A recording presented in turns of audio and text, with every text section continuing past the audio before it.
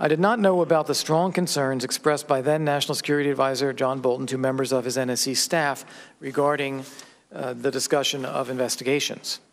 I participated in the July 10th meeting between National Security Advisor Bolton and then Ukrainian Chairman of the National Security and Defense Council, Alex Danylyuk.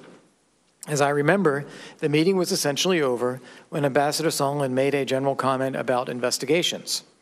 I think all of us thought it was inappropriate. The conversation did not continue, and the meeting concluded.